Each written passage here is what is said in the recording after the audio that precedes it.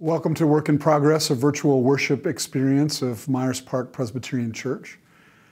Today we're celebrating Christmas, and at the heart of Christmas is the incarnation of God's love in Christ. And that's what we're here to celebrate. And for our Christmas worship, there's really nothing better than hearing the sacred story, the, the greatest story ever told, and singing the songs. So we're so thankful you've joined us for this worship, and we invite you to listen to the story once again and to sing the songs with us as we celebrate the birth of the newborn King.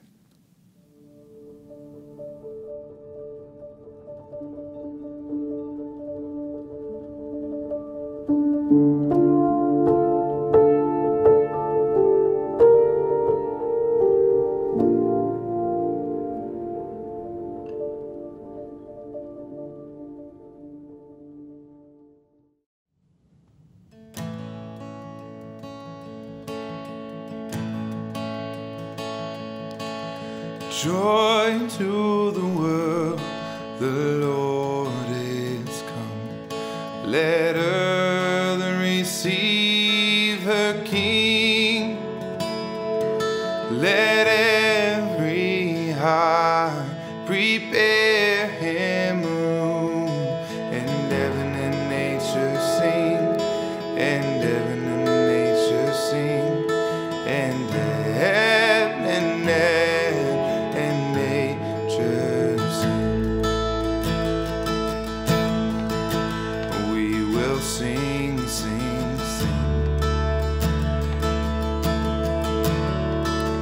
Joy to the world. We will sing,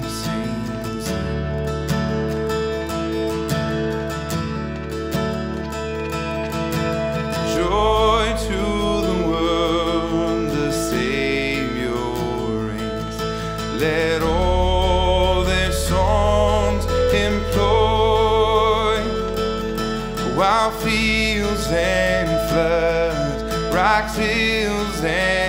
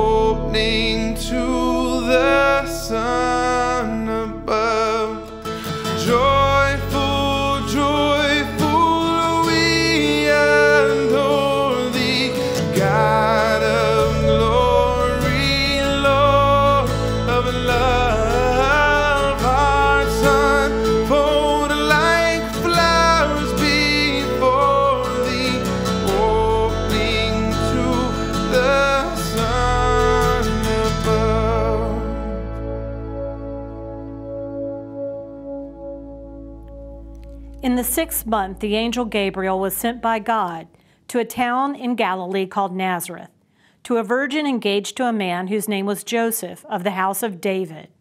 The virgin's name was Mary. And he came to her and said, Greetings, favored one, the Lord is with you.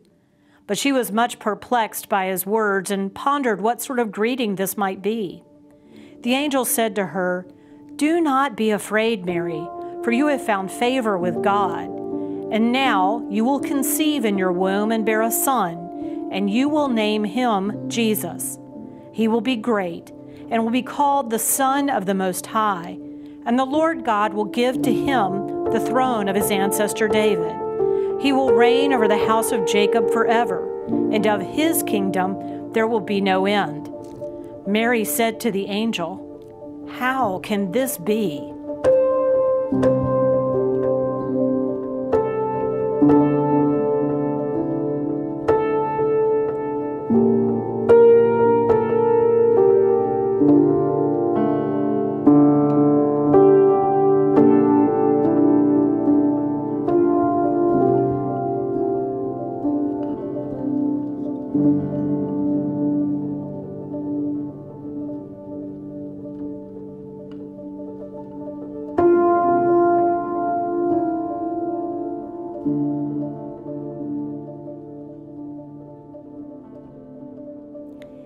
In those days, a decree went out from Emperor Augustus that all the world should be registered. This was the first registration and was taken while Quirinius was governor of Syria. All went to their own towns to be registered. Joseph also went from the town of Nazareth in Galilee to Judea, to the city of David called Bethlehem, because he was descended from the house and family of David. He went to be registered with Mary to whom he was engaged and who was expecting a child. While they were there, the time came for her to deliver her child, and she gave birth to her firstborn son and wrapped him in bands of cloth and laid him in a manger, because there was no place for them in the inn.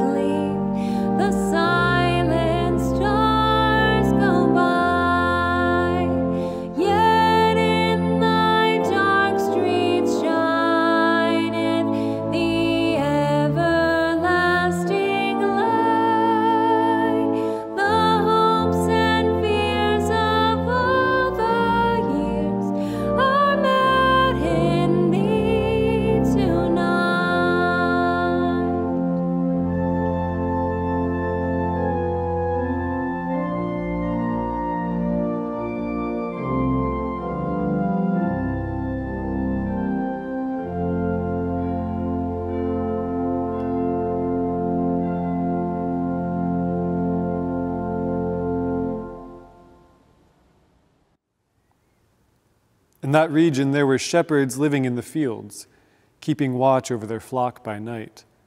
Then an angel of the Lord stood before them, and the glory of the Lord shone around them, and they were terrified. But the angel said to them, Do not be afraid. For see, I am bringing you good news of great joy for all the people. To you is born this day in the city of David a Savior, who is the Messiah, the Lord. This will be a sign for you. You will find a child wrapped in bands of cloth and lying in a manger. And suddenly there was with the angel a multitude of the heavenly host, praising God and saying, Glory to God in the highest heaven, and on earth peace among those whom he favors.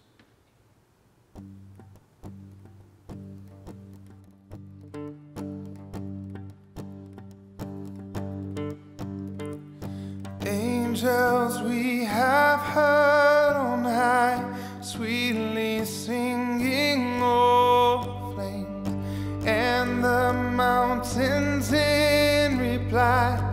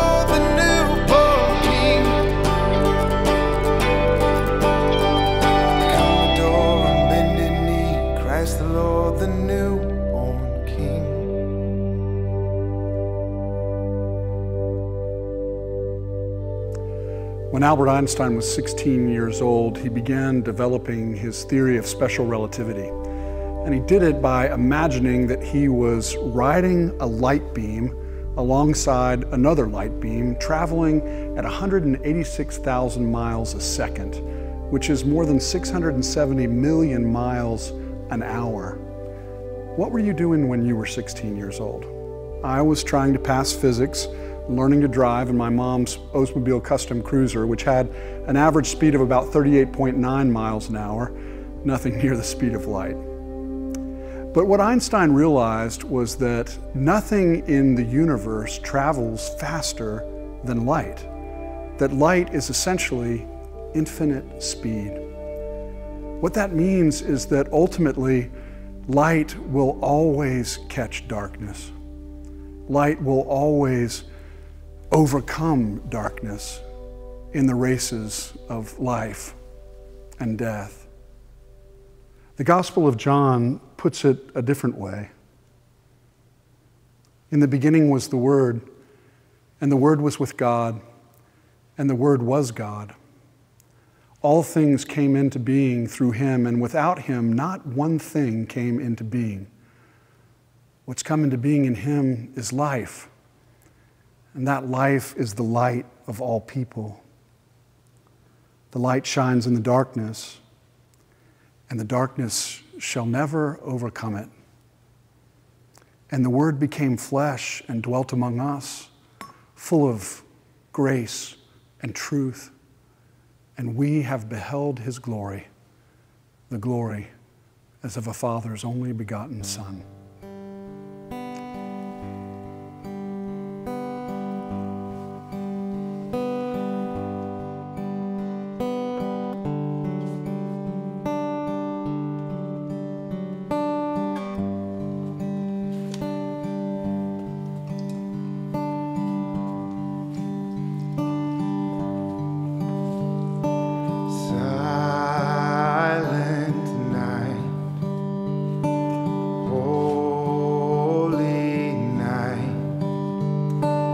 All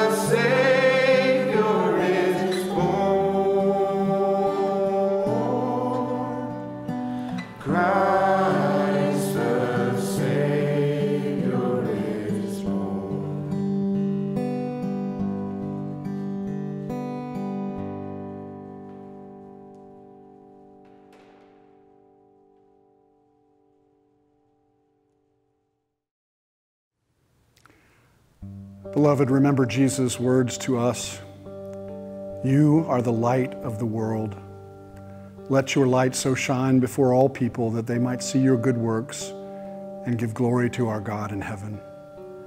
Go in peace this Christmas to love and to serve the Lord, to be the light that shines in the darkness, the light no darkness can ever overcome. As you go on your way, may the grace of Christ attend you and the love of God surround you and the Holy Spirit keep you, that you might live in faith and abound in hope and grow in love this day and forevermore. And all God's people say, Amen.